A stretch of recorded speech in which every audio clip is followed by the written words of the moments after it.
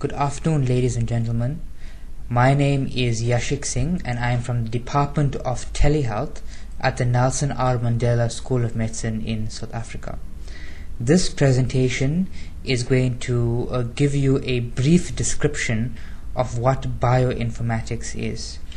Um, we're going to speak about why bioinformatics is important, give you some examples of uh, bioinformatics applications, and we're going to specifically look at some sequencing tools and some uses of sequencing.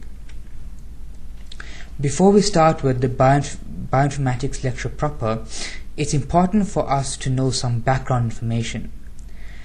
Uh, a very important point for us to realize is that uh, bases are the building blocks of all organic matter.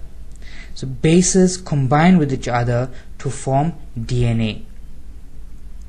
The four different bases that are actually used when creating DNA are adenine, guanine, cytosine, and thymine. And these are shown in the bottom right hand corner of this slide. These bases join to a pentose ring via a glycosidic bond and creates what is called a nucleoside. The nucleoside then combines with either one, two, or three uh, phosphates and are called nucleotides. You get a nucleotide monophosphate if one phosphate group is joined to this pentose ring and base. If two phosphates are joined, it's called the nucleotide diphosphate. And if three are joined, it's called a triphosphate. So in order to better explain how this um, bases combine with each other to form the helix of the DNA, please watch this first video.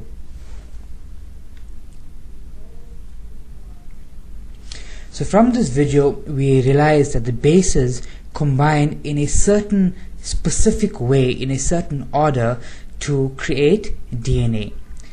Uh, DNA is then converted to RNA and then from RNA to proteins. And proteins are really a, a whole group of amino acids linked together. Uh, each triplet of uh, the the bases so you see here TTT TC TTC TTA TTG each triplet actually codes for a particular amino acid. There are 22 amino acids 20 of these are encoded using these uh, triplet RNA nucleotides. Um, eight of these uh, amino acids are essential amino acids, which means that the body cannot create these amino acids themselves. It has to be ingested with diet. So, uh, from from these 20 amino acids, if you look at an example, TTT when when joined together actually creates the amino acid phenylalanine. But sometimes things go wrong. Mutations occur. When bases don't interact with each other correctly it forms changes in the amino acids. And changes in the amino acids can result in changes in the proteins and the way we see things. These mutations can either be inherited uh, for, in, for instance diseases like sickle cell disease or um, cystic fibrosis some cancers or they can be acquired. For instance there are some birth defects due to uh, radiation uh, leukemia HIV resistance. These are all acquired changes in the DNA which results in different diseases and different um, um, and, and different uh, types of sicknesses. So now that we know why uh, the genome, why the DNA, why bases, why amino acids are so important, we realize that the study of this is actually uh, valuable. And that's where bioinformatics comes in. Bioinformatics is an applied science. And that means that it takes the knowledge of different fields and puts it together to solve some sort of problem. Um, if we had to try and find a single definition of bioinformatics, we might think of something that states that bioinformatics is an applied science that uses domains like applied mathematics, informatics, statistics, computer science, artificial intelligence, chemistry, biochemistry, etc., to solve problems at the molecular level. And this is what differs bioinformatics from the other informatics fields or subdisciplines in medical informatics. Bioinformatics deals with problems at the molecular level. So things like genes, like the amino acids we spoke about, like how mutations in the DNA cause different types of diseases. How can these mutations be identified? How can they be prevented? How can they be even reversed? So there are many different areas of bioinformatics, and googling them, you would find um, that there are thousands and thousands of websites and web pages actually describing different uses or different aspects of bioinformatics. And this is mainly because it's such an applied field. Um, you get sequence alignment, gene finding, genome assembly, protein structure alignment, protein structure prediction, uh, predict products of gene expression, protein-protein interactions, and modeling of evolution. Of these, um, the three most important or the three most um, um, highly researched fields are sequence alignment, uh, predicting products of gene expression, and modeling of evolution. And in this lecture, we're going to speak mainly about sequence alignment. Uh, predicting the products of gene expression is absolutely vital. And this field deals with trying to predict how these bases would interact with each other to actually produce the DNA. Uh, how amino acids interact with, with, with each other to actually produce the protein, the shape of the protein, for instance.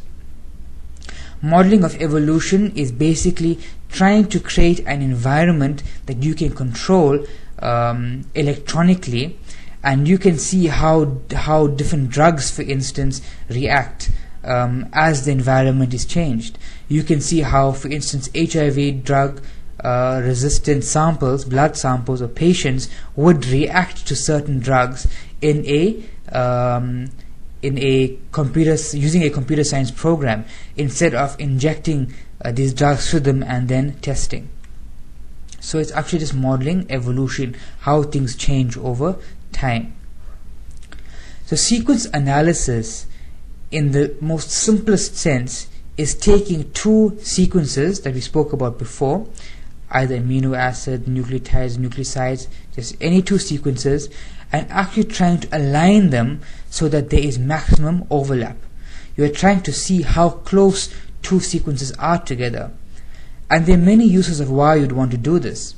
For instance, if there is a new virus um, that, that, that is plaguing mankind, and you're unsure of how to start off uh, creating an antiviral for this, you can compare the sequence, the DNA of this virus, to a database of viruses, and then find the one that is most close to this new virus and use the antivirals for that virus in the database as a start to actually finding the new antiviral.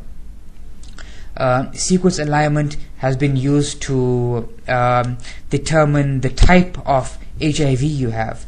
There are some studies that show that the type of HIV that you have actually um, actually um, the type of HIV you have actually affects the way in which you respond to treatment, HIV treatment. Um, by sequencing, you can actually find out how close you are to other species, um, and that's probably one of the reasons why um, we can do things like uh, take a heart from a pig and put it into a human body, because we know from the DNA how close we are to the pig. Um, searching genes. Now with searching genes, when we are trying to align them together, there's a specific algorithm that is used. It's not as simple as just uh, putting two sequences over each other and trying to see which letters overlap. We have to look at all possible combinations in aligning them and also take into account that insertions and deletions may also occur in the sequence. One algorithm that is used for this, and probably the most common one, is the BLAST algorithm. And in the demonstration, we're actually going to use the BLAST algorithm to show you how this works. So the first demonstration is the demonstration on finding the subtype of HIV. Um, in this demonstration, I take an unknown um, subtype uh, sequence. I put the sequence into a, a program in BioAfrica. This program takes a sequence, it compares it against its database, and sees what type of subtype that is. Um, the second uh, part of the demonstration is Stanford's HIV DB uh, website, where I show you how uh, mutations in the DNA is actually used to determine what drugs a patient will be resistant to in HIV therapy. Uh, the next, uh, this, the other half of this video is actually trying to show you another use of uh, sequence alignment, and that is proving to you uh, almost a theory of evolution, showing you how close we are to the chimp. So I take two sequences. I take the sequence of the um, chimp and I take the sequence of the human and I compare them together using the BLAST algorithm. And I show you how similar they are together. So please watch the video called video 2 now. So we all know that sequence information is now vital in in medicine especially now that we are moving towards personalized medicine where medicine is not going to be a, a list of symptoms that you are asked and then you are given general medication for that. Um, in in years to come we'll find that medicine is going to become individualized where a sample of your blood is going to be taken your DNA is going to be um, sequenced or parts of your DNA will be sequenced uh, and that will be used to determine uh, best medication for you especially in chronic disease. Um, so this use of bioinformatics the use of genome information will actually result in new diagnostic and prognostic information. But there are two important things for us to actually consider. One is that genome data is very large. And when we are creating electronic medical record systems, we have to take this into consideration. We have to build the systems in such a way that we ensure that different parts of this data can be accessed easily by different programs that need it. But more importantly, we need to start thinking about the ethical and security considerations of having and using genomes. Imagine if a medical aid company or an insurance company gets a hold of your genome somehow. And they can now predict what drugs you are going to or what drugs you'll be resistant to in the future. They can now predict what diseases you are going to have in the future. What are the likelihood of those diseases um, going to be? And is it ethical for them to use this information uh, and did, and increase your medical aid subscription or increase your life insurance subscription or not give you medical aid or life insurance. Um, also if a doctor uses this algorithm and and and realizes that in the future you may have some sort of incurable degenerative disease should he tell you? Um, if it's if there's if if it's if he just uses the algorithm to actually determine that you are going to have this disease there is in fact no guarantee that you will. There is a chance and depending on how good the algorithm is there may be a good chance. But does that mean that he has to tell you that you that you will suffer from this disease? What happens if you take this badly and commit suicide or, or do, do other irresponsible things. So there are many ethical considerations and also design considerations when you are thinking about use of this type of tools in uh, clinical informatics. Thank you very much for your time.